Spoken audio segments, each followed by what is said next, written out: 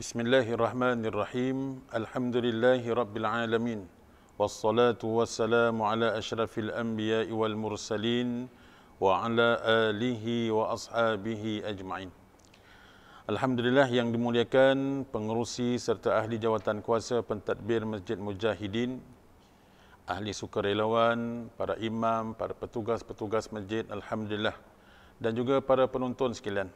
Assalamualaikum warahmatullahi wabarakatuh. Alhamdulillah kita mulakan dengan suratul Fatihah. A'udzubillahi minasyaitonirrajim. Bismillahirrahmanirrahim. Alhamdulillahi rabbil alamin. Arrahmanirrahim. Maliki yaumiddin. Iyaka na'budu wa iyaka nasta'in. Ihdinas siratal mustaqim. Siratal ladzina an'amta 'alaihim. غير المغضوب عليهم ولا الضالين آمين الحمد لله Baik para pendengar dan penonton sekalian. Kita bersyukur kepada Allah Subhanahu wa taala walaupun tidak secara fizikal kita dapat ketemu alhamdulillah sekali lagi bersama-sama uh, kita melalui uh, uh, alam maya ni eh. Jadi alhamdulillah ala kulli hal kita teruskan dan saya bersyukur berterima kasih kepada pihak masjid kerana dapat meneruskan eh, pengajaran ilmu seperti ini. Baik alhamdulillah seperti biasa pada setiap hari Khamis setelah kuliah Zuhur kita akan adakan uh, kuliah ringkas uh, kuliah selepas Zuhur kita adakan kuliah ringkas mengenai tajuk tafsirul Quran. Hari ini saya akan membawa surah uh, yang biasa kita dengar surah Al-Muluk insya-Allah dan kita akan bersambung uh, berterusan surah Al-Muluk ini. Baik tuan-tuan dan puan-puan sekalian. Apa makna Al-Muluk? Al-Muluk maknanya kerajaan. Dan saya akan terangkan uh, uh, diturunkan ayat ini dengan pendahuluan. Surah Al-Muluk ini artinya kerajaan. Iaitu surah yang ke-67 di dalam Al-Quran 30 juzuk. Eh? Dan yang, yang eh, 67 inilah surah 67 daripada 114 surah di dalam Al-Quran. Dan ia merupakan ayat yang diturunkan di Mekah atau digelar sebagai Makkiyah. Diturunkan setelah turunnya surah At-Tur. Di antara hubungan dengan surah sebelumnya dalam surah At-Tahrim yang terdahulu. Allah Subhanahu wa taala telah membuat perumpamaan untuk orang-orang kafir tentang adanya dua orang perempuan yang ditakdirkan berkeadaan dalam keadaan celaka. Meskipun keduanya adalah isteri kepada dua orang hamba Allah yang saleh iaitu Nabi Nuh dan juga Nabi Lut salam. Begitu pula perumpamaan untuk orang-orang yang beriman tentang dua orang perempuan iaitu Aisyah dan juga Maryam yang telah ditakdirkan berkeadaan bahagia. Meskipun kebanyakan kaum keduanya itu orang-orang kafir, maka surah ini dibuka dengan menyebutkan kudrah Allah yang maha kuasa di dalam pemerintah, dalam kerajaan yang mengatur eh, kerajaan yang begitu luas. Meliputi pula pengetahuannya di dalam seluruh alam ini. Surah ini juga mempunyai kelebihan yang begitu besar bagi orang yang membacanya. Eh? Jadi maknanya setengah-setengah ulama mengamalkan surah ini dibaca. Tidak pun setiap hari mungkin boleh mereka amalkan seminggu sekali, mungkin sebulan sekali. Tak kiralah sama ada mereka nak baca waktu pagi ke, tengah hari ke, setelah solat ke, pada waktu malam ke, jadi inilah yang diamalkan oleh para-para ulama untuk membaca surah Al-Muluk. Kerana ada kelebihannya. Surah ini mempunyai kelebihan yang begitu besar bagi mereka yang membacanya. Dia juga dinamakan dengan surah Al-Waqiyah. Iaitu yang memelihara. Surah Al-Muluk ini juga dinamakan juga Al-Munjiyah. Iaitu yang menyelamatkan Kerana surah ini dapat memelihara orang yang membacanya dengan daripada seksa kubur. Sebagaimana sabda Nabi sallallahu alaihi wasallam mengenai surah Al-Muluk ini, hiyal mani'ah wa hiyal munjiyah tunji min azabil qabri. Yang bermaksud ia adalah surah yang menghalang dan juga surah yang menyelamatkan. Iaitu menyelamatkan daripada seksa kubur. Maka itulah eh, ramai para ulama-ulama terdahulu sehingga sekarang eh, mereka ni tadi mengamalkan untuk membaca surah Al-Muluk. Maka itu para, para, para penonton sekalian.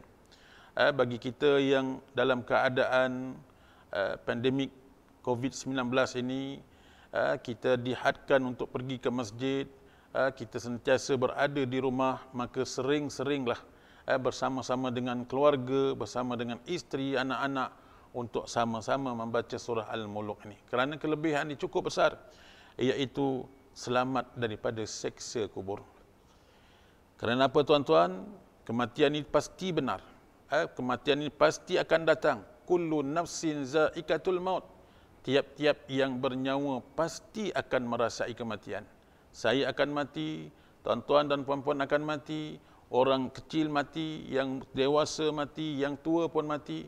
Semua akan berjumpa dengan Allah Subhanahu wa taala. Dan apakah persiapan kita bila mana menjelang kematian?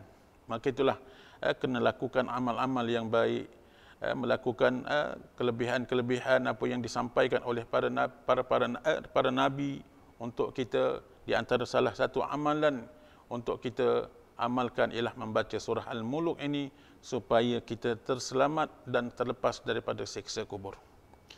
Kemudian ada riwayat yang lain mengatakan daripada Abu Hurairah bahawasanya Rasulullah sallallahu alaihi wasallam telah bersabda yang bermaksud ada satu surah di dalam kitab Allah iaitu Al-Quran hanya mengandungi 30 ayat.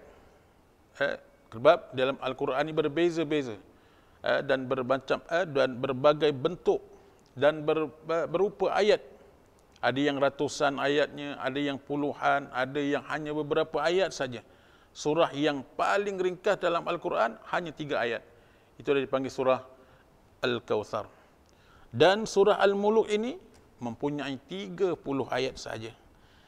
Maka itu dikatakan oleh Nabi sallallahu alaihi wasallam hanya mengandungi 30 ayat dan dapat memberi syafaat kepada orang eh, yang akan membacanya pada hari kiamat. Dikeluarkan orang itu dari neraka dan dimasukkan ke dalam syurga iaitu surah Tabarak itu dipanggil surah Al-Muluk. Masya-Allah eh. Di sini saya sampaikan ada dua kelebihan tentang surah Al-Muluk ini kalau kita membaca dan mengamalkannya yang pertama tadi iaitu terlepas dan terselamat daripada seksa kubur yang kedua kalau kita membacanya kita akan diberikan syafaah di hari kiamah nanti masya-Allah dan surah Al-Quran surah Al-Muluk ini tadi akan memberikan syafaah kita bila mana di akhirat hari kiamat dan dimasukkan kita ke dalam syurga Allah Subhanahu wa taala eh, mungkin pada hari ini eh, waktu ini kita memperkenalkan tentang surah atau kelebihan tentang surah Al-Muluk ini insya-Allah eh, kita akan sambung nanti eh, dengan ayat yang pertama dan seterusnya. Sebelum itu tuan-tuan sebagai mengakhiri diriwayatkan daripada Ibnu Syibah surah ini dinamakan juga surah Al-Mujadilah. Dialog kerana dia berdebat malaikat di dalam kubur bagi pihak orang yang membacanya. Oh, eh, bila mana kita membaca ni tadi tuan-tuan, eh, setiap kali kita bila mana mati, bila mana mayat kita diletakkan, jenazah kita diletakkan di dalam liang lahat, setelah orang yang mengantar meng, eh, mengusung jenazah itu tadi pulang, maka akan datang dua malaikat itu Munkar dan Nakir. Eh, Munkar dan Nakir mereka akan menanyakan soalan-soalan eh, di dalam kubur ini. Tuan-tuan, eh, maka itu eh, perdebatan antara malaikat dengan orang yang berada di dalam kubur apa di antaranya dan diriwayatkan daripada Abdullah bin Mas'ud katanya apabila telah diletakkan mayat di dalam kubur didatanglah kepada malaikat dua uh, dua arah iaitu pada arah kakinya. Maka kedua kaki pula berkata kepada malaikat tersebut masya-Allah eh dengan kita mengamalkan surah al-muluk ini tuan-tuan di dalam kubur ni berdepatan antara kita ni nanti jenazah kita ni tadi yang mati ni tadi dengan para malaikat iaitu Munkar dan Nakir mereka menanyakan sebelum malaikat menanyakan kepada kita yang telah mati ni tadi maka di arah kaki dan kaki ni tadi akan apa Aa, eh? kaki ni akan berkata kepada malaikat tidak ada jalan bagi kamu menyeksa orang itu kerana dia adalah yang oh, senantiasa mengamal dan membaca surah Al-Muluk. Maknanya belum sempat malaikat ni tadi menanya kepada si mati ni tadi, kaki si mati ni tadi menjawab, eh, tidak ada kesempatan untuk engkau menyoal. Kerana apa?